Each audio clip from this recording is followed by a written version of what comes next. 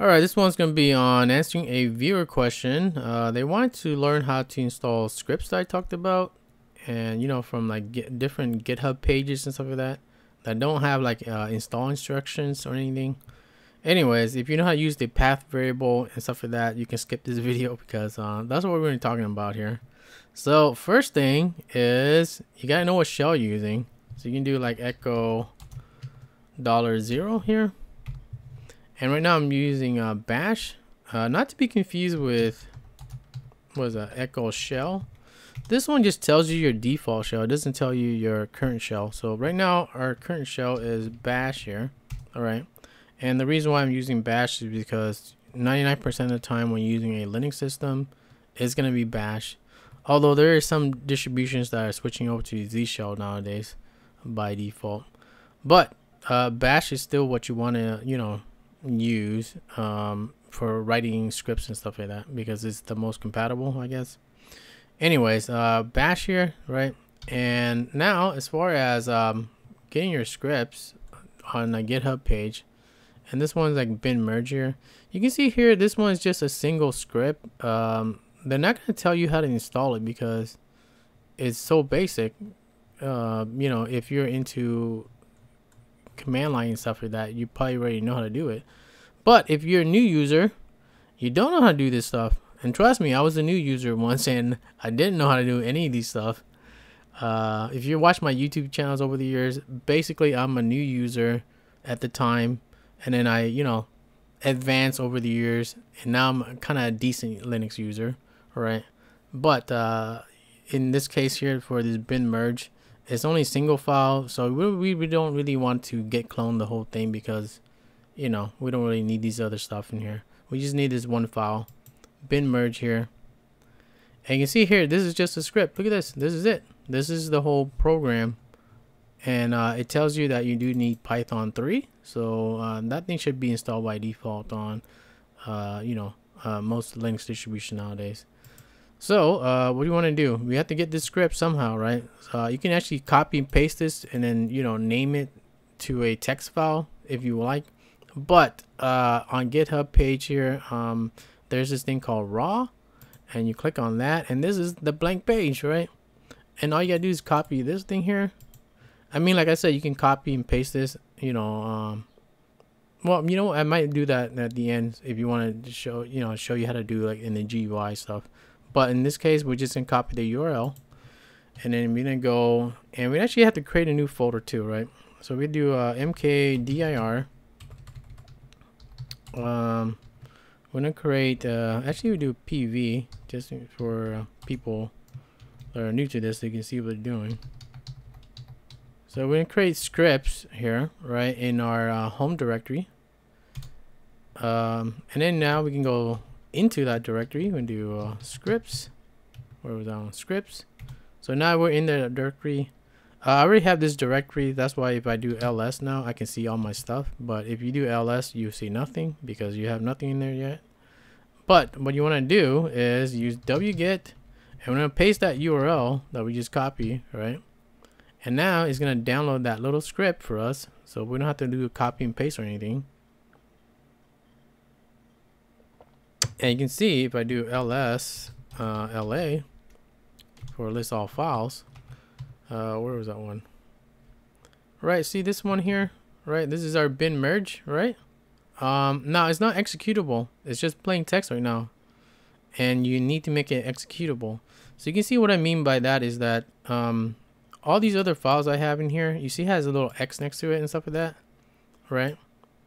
X X and stuff like that. Um, this one's for different groups, but the main thing for that is that it will allow you to run the program because right now it's just plain text. It's not really, uh, you can't really do anything with it. You can't run or anything. I mean, you can you can view it on your text editor, but that's all you can do.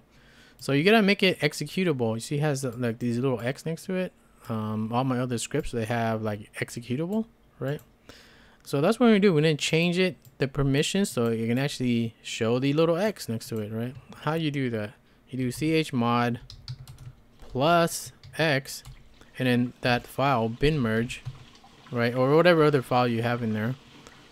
And that's it. Now if we do uh, LSLA again, you can see that our file, uh, what was that bin merge? Right now has the little X uh, for each group. And that means we can actually execute it now. So if I do uh, dot slash, if I can see over my mic here, bin merge, right? And then you can do like dash H for help. See, now it works.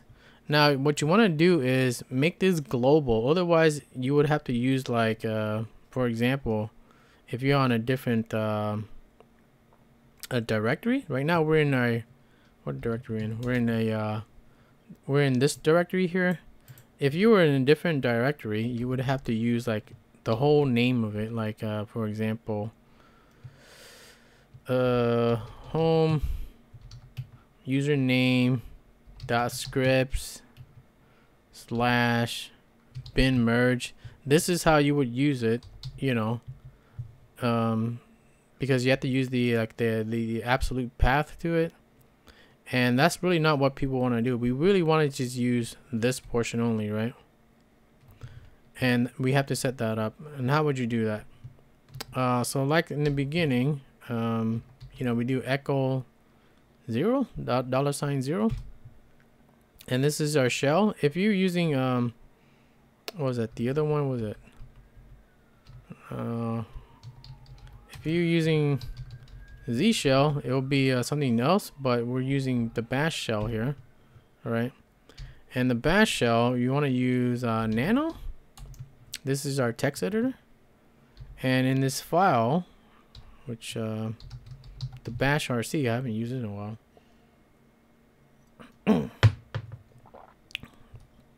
In the bash rc uh, anywhere in here i mean usually you put in the top but uh, for example in the bottom here right uh, and and to use nano all you gotta do is use your arrow keys you know page up page down whatever it is. It's just like a plain text editor. So you can use like so this is the code you want to use here right? This little line here.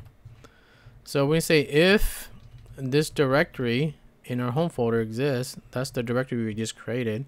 So home slash dot scripts, right, is going to load into our path. And this path variable here it will tell uh, our shell that these ones are, um, you know, are, are, the scripts or whatever it is, uh, binaries that we want to load up. And um, it will load up uh, by default. So you don't have to like type out the full path to everything. Anyways, um, all you gotta do is save it now right you do yes or no or no actually we do yes um, but I already have this um, you know set up already so. Anyways that's what you gotta do with that uh, code in there. Just put that into your bash rc I'll show you to I'll show you how to do that in the GUI if you're not comfortable with the command line uh, later on right but that's what you gotta do in there and you might have to reload your shell. You can just type in bash again and it'll reload it. And see, this is all our um, path variable here. I got too much, but um, that's what we can do here. If you do echo path, this is all your, um, you know, your directory that will be loaded up. Yours might be shorter than mine, but I have too many stuff in here. And that's why it's all loaded in here. Anyways, um, basically that's um, all you gotta do. And now you can go anywhere. You can go like your, your downloads folder. You know, you can be uh, uh, what's my Zampacto? What's that? Right, you can be any directory and you can still call that bin merge command um, that we did, right? Look at this. You can call it anywhere now. And you can do like, uh, what was that? Let me give you an example. And basically what it's doing is that if you do, I think it's which, right? Bin merge. Yeah, see, if you do which bin merge, um, it'll tell you where it's located at right? So instead of using this this whole path like we normally have to do, you can actually just use the uh, single name of it, you know, this bin merge anywhere. So that's the reason why we did all that step is because we don't want to like type out the full path of where it's located at. We just want to call it by his name. Kind of like, you know, in, in your phone, you have a bunch of contacts and you have a bunch of numbers in there you're not going to remember all the numbers, but you do remember their name, right? So that's the reason, you know, uh, we want to set it up so we can just call it by their name, not like all these, you know, numbers or, you know, where they're located at and all that. So that's what we're doing. We're, we're trying to set it up so it can actually be used by just their, their name, not, uh, you know, anything more complicated than that. So that's the reason for uh, setting up the path variable, right? And you can do this with uh, any other scripts I talked about, really. So for example, my um, unsplit bin cue here, right? Do the same thing. You know, you, you um, go to my show notes. Where's my show notes? Right. I got a bunch of scripts in here, whatever it is. Some of them are not scripts, some of them are just notes. But uh, you can see here, this is a bash uh, script here, right? And uh, basically, you just, you know, do the raw thing again. Copy this thing, go into your um, script folder. You can do cd, you know, the script folder we create in the beginning. And then you do wget again. Boom. And now we have our um, script, right? So we have to do chmod again. chmod plus x. Otherwise, it doesn't do anything. Unsplit bin cue. There you go. Boom. Right now we uh, can do ls la and where's the unsplit one here? Right, so this one here, look at that, right? That's the one we just downloaded and now it's executable. That means we can use it. So you can do, um, so you can be in any directories. Right now we're in this directory, but we can go to our home folder, right? This is our home folder. And you can see that I can still use that unsplit, um, what was that, bin cue. I can do a dash H, and look at that that's what we can use anywhere now. Um, hopefully you understood that. Uh, what else do we want to do? Okay, if you want to do this in the GUI instead of the terminal like we just did, I'll show you that too. Why not? so, uh, open up a uh, file manager. What was it? I think I got. I haven't used Thunar in a while, so if I remember how to use this. Oh yeah, in here you hit uh well you do uh was that control H I think on KDE is like out period or something like that. So you can see it, it toggles between your hidden files which is all these dot files right? So you can do control H to toggle between them. And you should already have um it the actually if you want to create a new folder hopefully you know how to do this. Create new folder right click right? Right click create new folder and you call it dot scripts and then create which we already have one so we can go to um, dot scripts here. Or the one? There you go this one here dot scripts. Right this is all our scripts. And basically if you want to do this in GUI real simple. Um actually let's delete those two right? Bin merge we'll delete this. Uh where's that one? Move the trash there you go. I haven't used the GUI um, file manager in a while so that's why I'm slow at this right now. But um, let's go back to what was that one? All right this is the bin merge one here right? So if you want to do it this way look at old school copy paste copy and then uh, we'll do a uh, new document all right? Uh, we'll say empty file. We'll call this bin merge. All right so this file here uh, we can open this right with our text editor. And this is a Mousepad here. And we just control V to paste it. And this is our code right? I made it big. Let me see here. Make it smaller. Where's the one? Uh we go 32 okay.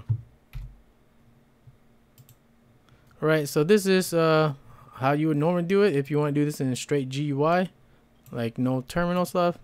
And then you do um, save. Right. Hopefully you know how to do like GUI stuff. And then if you want to do that chmod command, you do right click, go to properties, and um, there should be a checkbox here. There you go. Right in permissions. So this is the chmod command that we did in the command line. This is what you got to do in the GUI.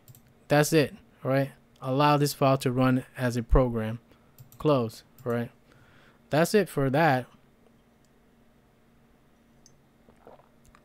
Now, as far as that um, bash RC um, thing that we did, uh, you can do that in here too. How you do that in the GUI here? Um, let's go back, and at the bottom here, uh, it should be a dot bash RC somewhere. Where is that one? There you go. This one here. All right. We'll open that. We'll go all the way in the bottom or anywhere you want. And then you add in this line. Hopefully you know how to type. Right? You add in this line. Right? Right here. This is the line here. I'll post you in the description. But all you gotta do that and you hit save. And that's it. That's all you gotta do. And uh, you know, now you bust out a um, of course you need to save it. I'm not gonna save for this one, but because uh, I already have it. Uh, so that's how you do that, and then you bust out a new terminal, um, which I already have a terminal, right? So you open a new terminal to reload it. Otherwise, if you want to load it um, in your current shell, then you just type in bash again, and it'll reload the you know the changes that you made in your bash RC, and then you can use it anywhere. So you do bin merge now. Hopefully it works. Bin merge, right? Dash H and that's it uh now if they have like dependencies like you know that python thing um then you do need python. You can do like py and just hit tab. Actually pyh uh was that th right so now i know i have python because i can use you know tab here and i can see all the programs i have. So python 3 is there. Uh stuff like that you know depends on what um, they're asking you in their uh, page if you have dependencies for that or not. Then uh, you'll need to install those. Now, if it's a binary, um, uh, same thing. This this ones are binary here. Uh, let's say, for example, Q2 pops here. These ones are not scripts. They're just like single binaries. Uh, think of it like EXEs on Windows, right? So in this case, you have to download it, right? And um, we'll download to our uh, download directory here. Right, so Q2 pops so for example, how you do that one? We go to our downloads folder. Uh, which one did we just download? Oh, Q2 pops, all right. So this one here, this is a binary. We can um, just right click on this. We'll do a cut and then we'll go back to our, um, let's say our scripts folder. All right, and then you can do uh, paste and we have Q and then basically you right click on this properties permissions allow and that's it. And then now um you might have to like reload your shell just because uh, there's a new file right? And we can do q2 pops. There you go. And now I can use you know q2 pops to do stuff uh, as a binary. So it can be a script it can be binary um, it can be you know um, bash script python script uh, perl script whatever it is it doesn't really matter but uh, you do need to create like a new directory and that's personally how I would do it uh, some people will put it in their root folder um, which we're not going to explain in this video because if you're a new user you're probably not going to do that anyways anyways uh, hopefully you know how to do it in the GUI and the terminal. However you want to do it, it's up to you. All right. That'll be it for this one.